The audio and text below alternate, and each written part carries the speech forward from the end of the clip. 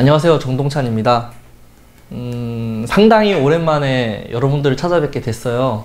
사실 안녕하세요. 정동찬입니다를 한 30번 이상 그렇게 촬영을 하고 다 삭제를 하고 지금 다시 새로 찍고 있어요.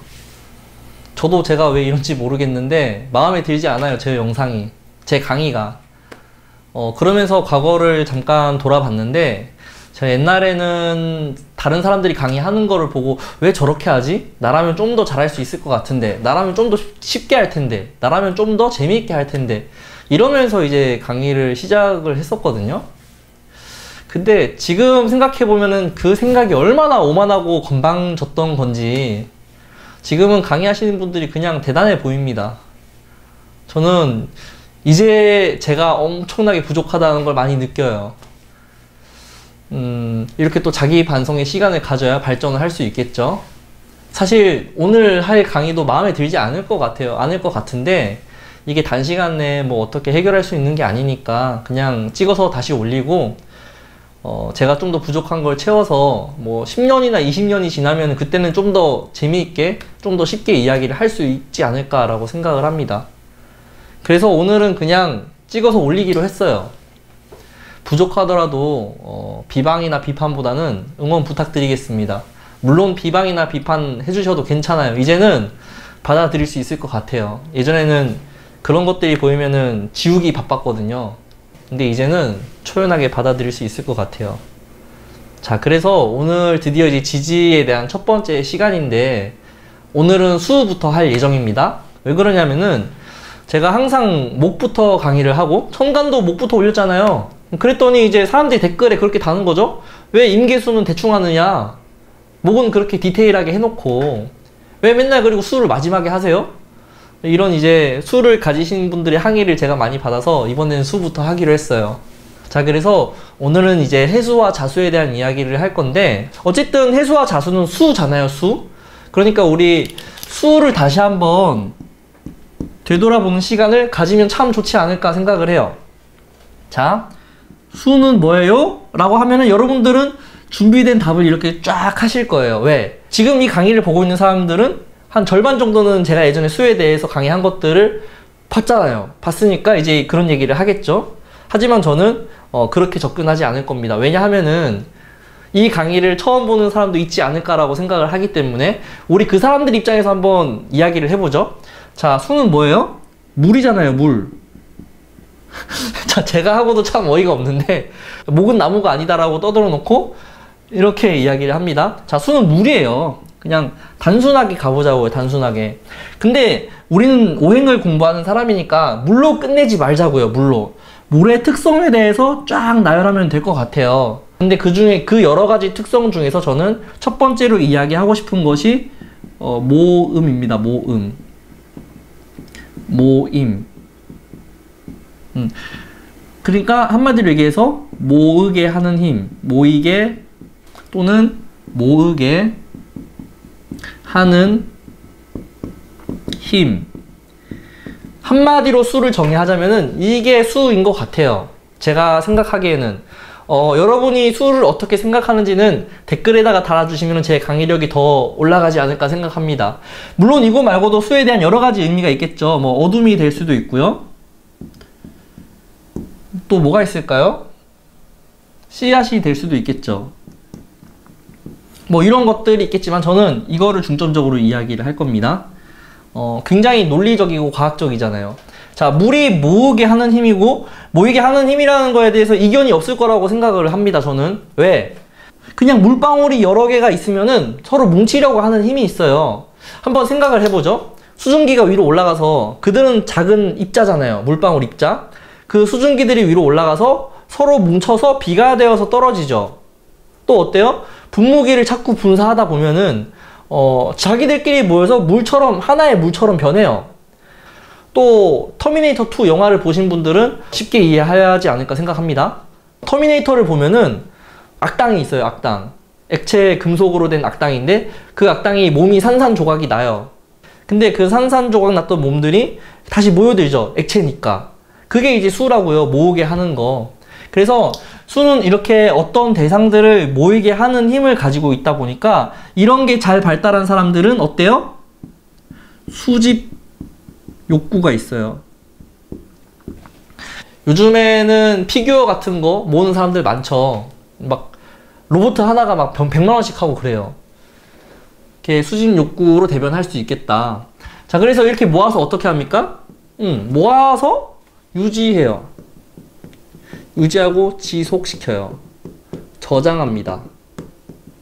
네, 이게 이제 수의 특징 중에 하나라고 보시면 될 것 같아요. 이거는 이제 이 개념에서 확장이 된 거고요.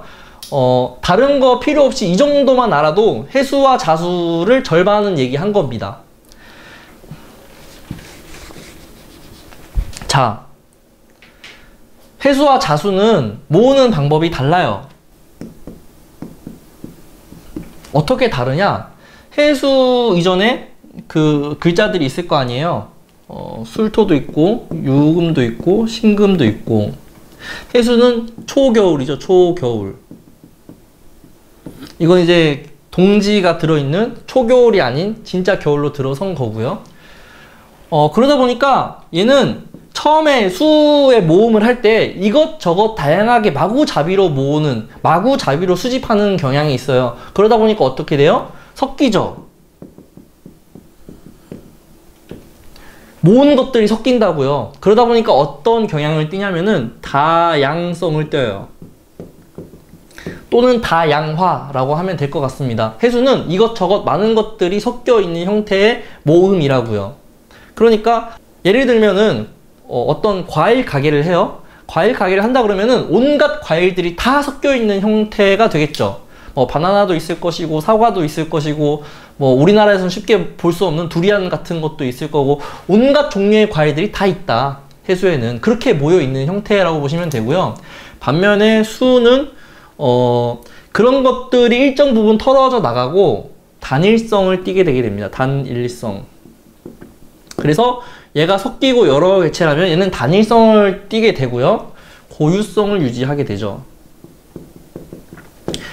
자, 이게 해수와 자수의 끝이에요. 사실 강의를 이렇게 간단, 간단하게 끝내야 됐는데, 어, 제가 강의를 찍다가 이거 두 개에 대해서 너무 많이 얘기를 하는 거죠. 막 이거 두 개만 가지고 20분, 30분을 떠드는 거예요. 그러다 보니까 내가 원래 어떤 얘기를 하고 싶어 했는지도 다 까먹고 마음에 들지 않게 되는 거죠. 올해는 좀 더 심플하게 강의를 하지 않을까 생각을 합니다. 음, 그 보면은 댓글에도 그런 댓글이 꽤 있었어요. 음, 왜 이렇게 어, 강의가 난잡하고 어지럽냐. 음, 뭘 얘기하고자 하는 건지 모르겠다. 뭐 이런 댓글도 있었는데 저는 거기에 대꾸는 안 했지만 충분히 공감을 하고 있거든요. 음, 이게 끝이에요. 더 이상 할 얘기가 없죠. 오늘 강의는 여기서 마무리하겠습니다.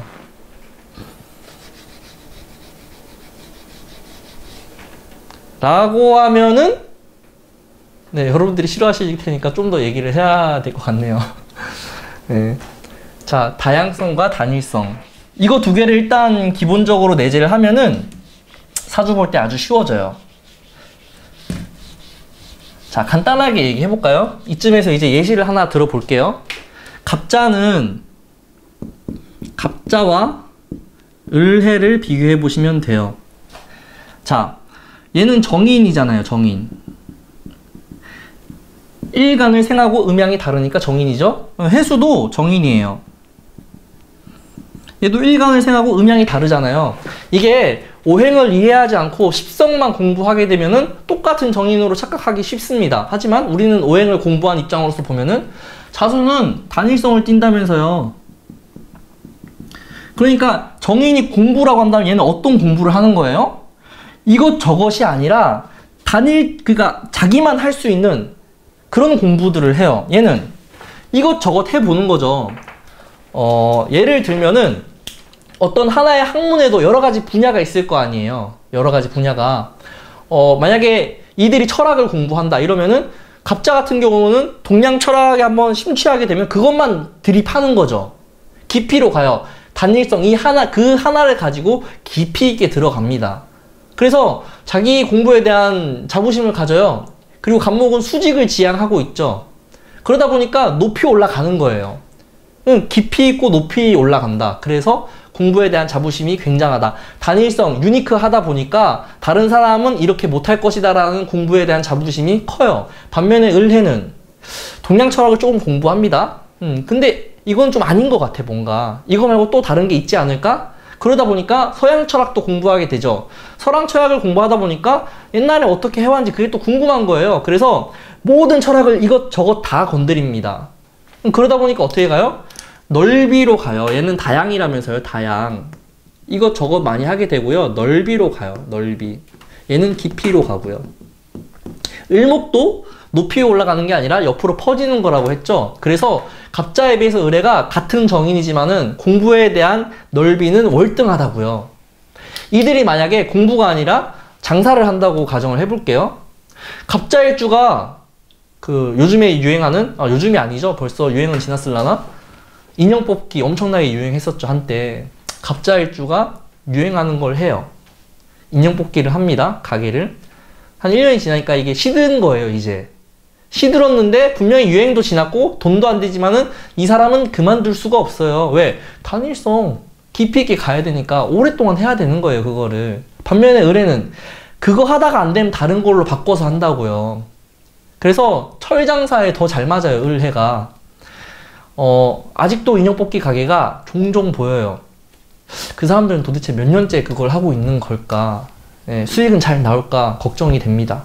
그래서 그런 거에 대한 변화는 의뢰가 훨씬 더 빨리 받아들일 수 있어요. 대신에 깊이를 논하긴 어려워지는 거죠. 지금은 모일간을 예로 들었지만은 여러분들이 다 대입을 해보시면 돼요. 병자일주는 어떨까? 뭐 정해일주는 어떨까? 같은 관을 쓰고 있지만은 직장의 형태가 어떻게 되어 있는가? 무자일주도 그렇고 기해일주도 그렇고 정제로 작용을 하죠. 같은 제인데 이 제를 어떻게 접근을 할까? 다 연구하고 적용하면은 쉽습니다. 이렇게 구분이 되어야 사주 통변을 할때 미세 통변이 가능해져요. 이게 잘 안 되어 있으면은 통변이 참 만만치가 않습니다.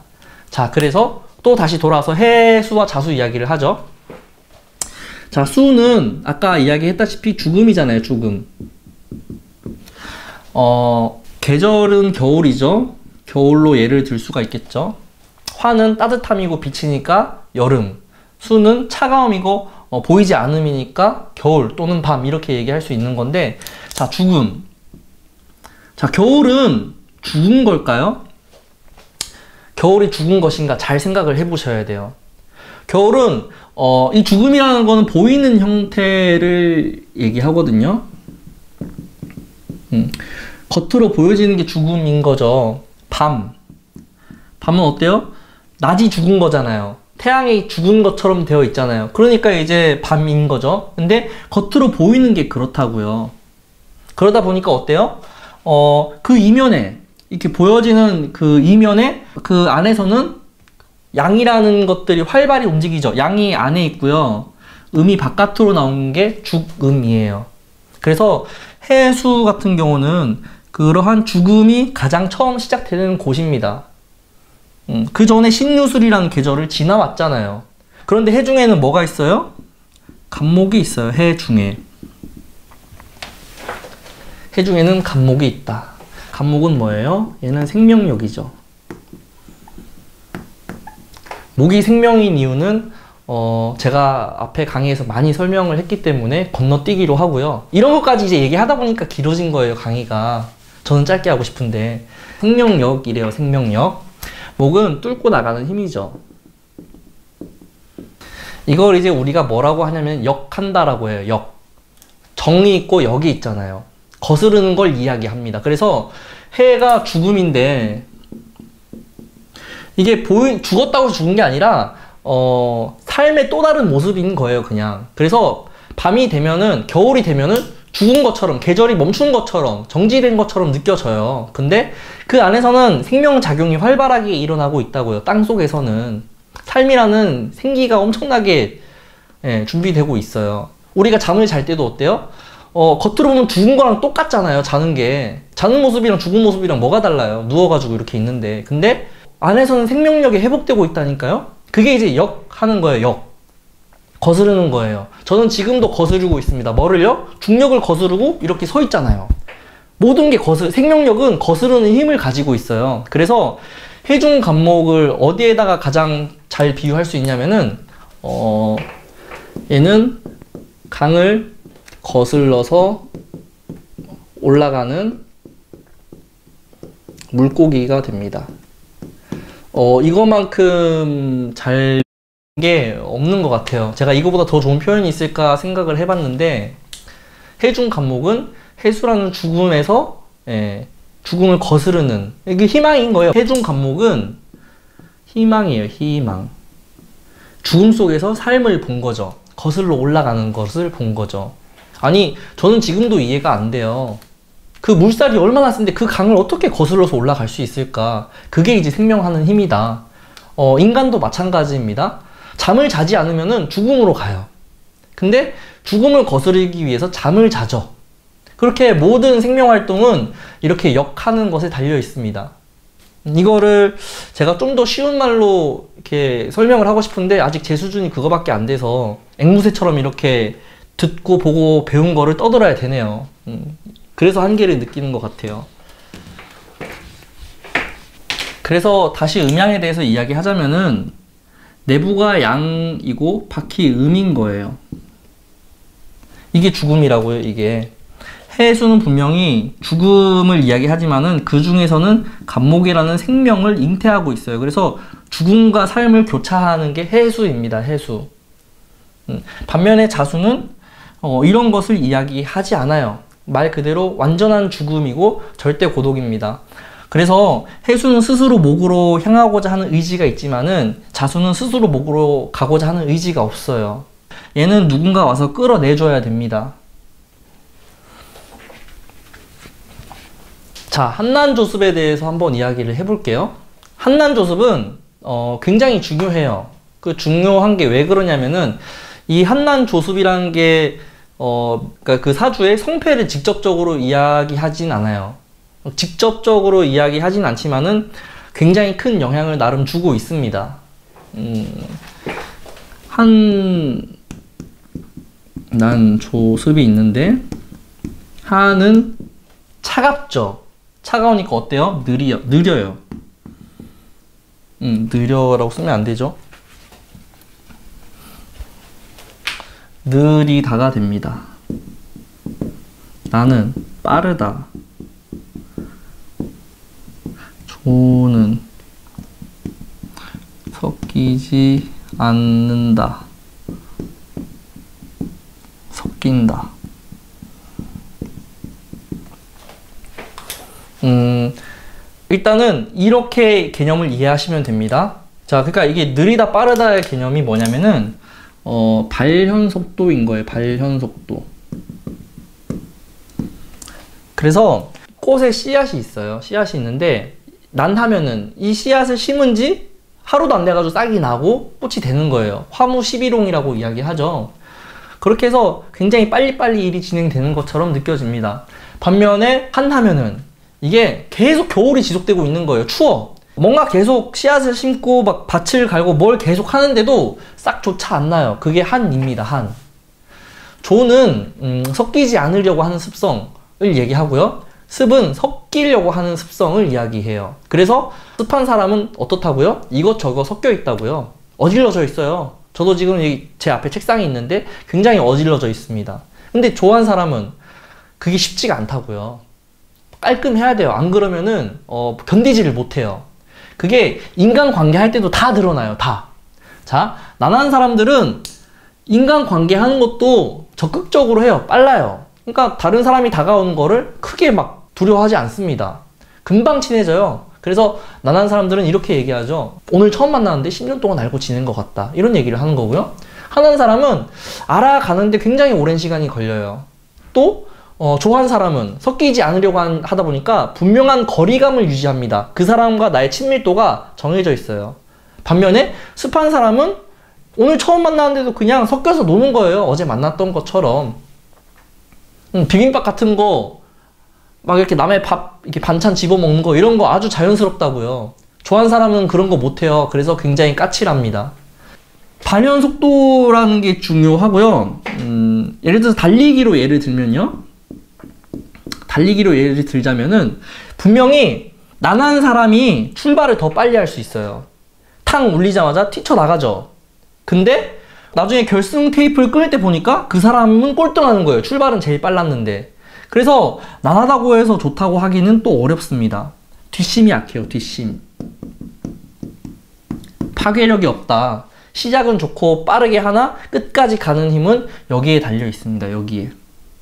하는 파괴력이 있어요. 스타트는 느릴 수 있는데 뭔가 일이 진행만 되면은 난한 사람에 비해서 끝까지 가고 더 예, 파괴력을 가지게 되죠.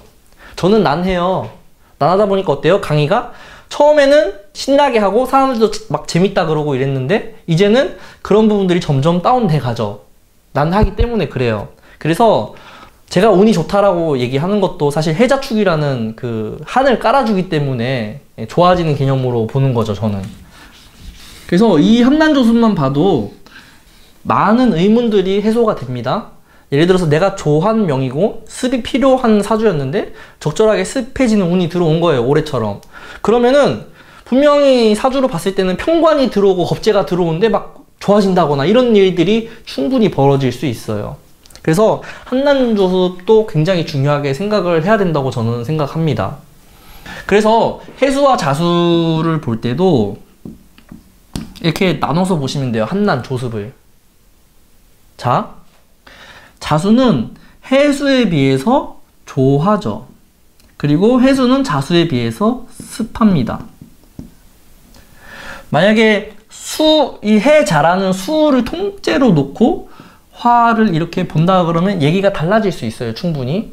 그리고 자수가 해수에 비해서 한하죠. 그리고 해수는 자수에 비해서 난한 거예요. 근데 수화로 또 놓고 보면은 얘는 한하고 얘는 난하다 이렇게 볼 수 있겠죠.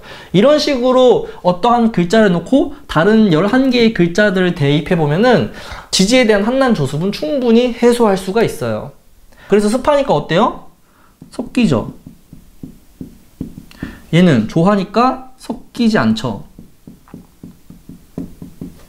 얘는 한하니까 하나니까 발현이 늦죠. 이 늦다.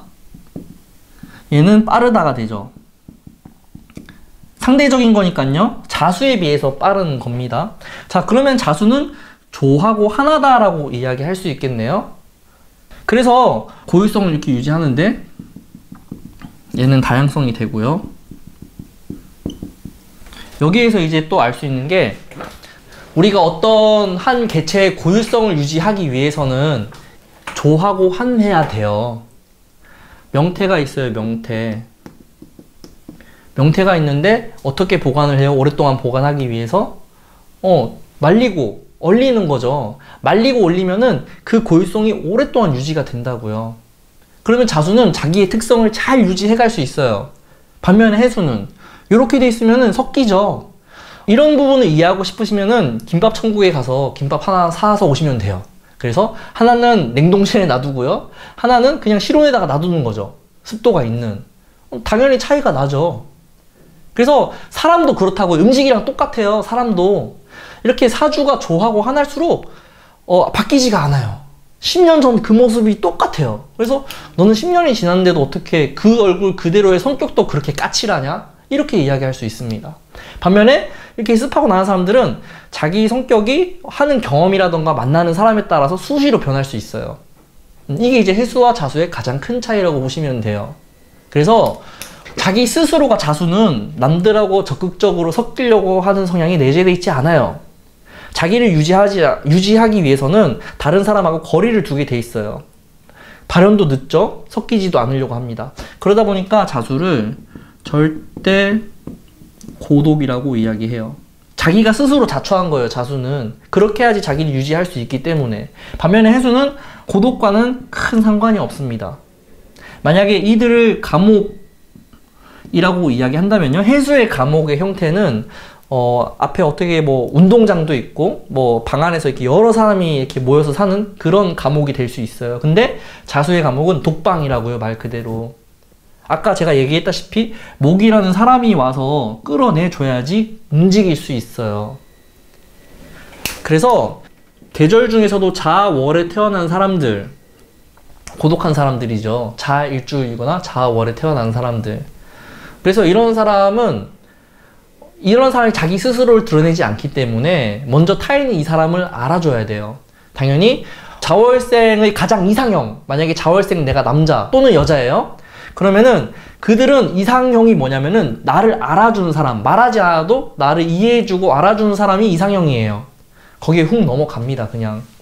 그런 사람이 몇 명이나 있겠어요. 물론 이제 사주에 그런 게 잘 돼 있는 사람들은 말하지 않아도 눈으로 통하긴 하죠. 음, 그런 고독한 글자라고 보시면 되고요. 자수가 그렇게 해야 되는 이유는 유지해야 되기 때문에 얘는 씨앗이잖아요. 씨앗.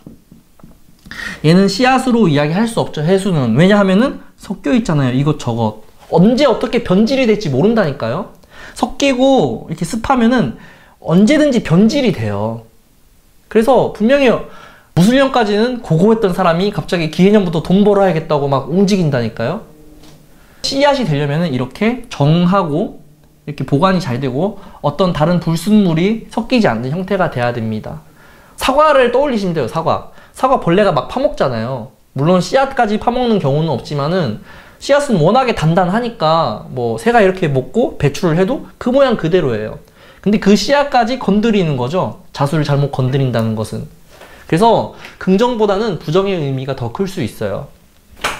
임수와 개수와 비슷해 보이지만 다른 글자입니다. 조순만 구별하셔도 다르죠. 개수는 습 얘는 생명력을 가, 그 생명을 부여해요. 생명력을 습하기 때문에. 근데 자수는 조하다. 같은 음의 음으로 쓰이는 수이지만은 그런 것들이 다른 부분이고요. 비슷한 부분은 이런 거예요. 해수는 모음이니까 얘는 이제 데이터가 돼요. 우리 여론조사할 때 무작위로 전화 걸어가지고 지지율 조사 같은 거 하잖아요. 그 마구잡이로 모으는 거예요, 해수. 근데 우리가 실생활에서 데이터를 출력해서 쓰기 위해서는 자수의 형태가 돼야 되죠. 이걸 이제 인포메이션이라고 해요. 정보죠. 데이터와 정보. 이 둘은 확실하게 구분을 해주셔야 돼요. 네. 이렇게 구분을 하셔서 이거는 어, 정말로 필요한 쓰기가 좋은 형태로 가공이 된 걸 얘기하고요. 데이터는 아직까지 정리가 안 된 거예요. 이것저것 섞여 있는. 그래서 이것을 지식이라고 이야기하고요. 이것을 지혜라고 합니다. 지식과 지혜. 그래서 옛날에는 지식이 많은 사람들이 대우를 받았어요. 지식이 많은 사람들. 지혜가 아니라, 그러니까 뭐, 어떤 어떤 박사, 이러면 박학 다식한 사람이잖아요? 아는 것이 많죠. 아는 것이 많은 사람들은 그 마을의 어른으로 대접을 받았죠. 모르는 거 있으면 찾아가서 물어보고. 근데 지금은 이런 지식이 엄청나게 넘치는 세상이에요. 별의 별 지식이 다 있어요. 그래서 많이 안다는 거는 남들한테 우위를 점하기는 어려운 세상이 됐습니다. 지금은 이게 더 중요해요. 지혜. 어, 제가 이 강의를 준비하면서 가장 자괴감을 느꼈던 부분인데 저는 아직까지는 확실히 지식 쪽에 많이 치우쳐져 있어요. 이게 없어요, 이게. 이것도 세월이 해결해 주지 않을까라고 생각을 하고요. 오늘 강의는, 음,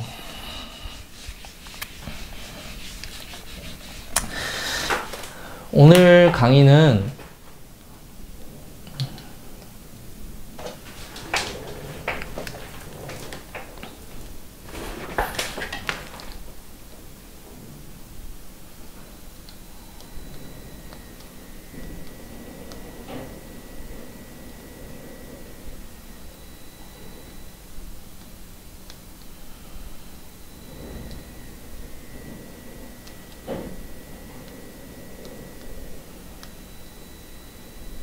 제 강의는 여기까지입니다.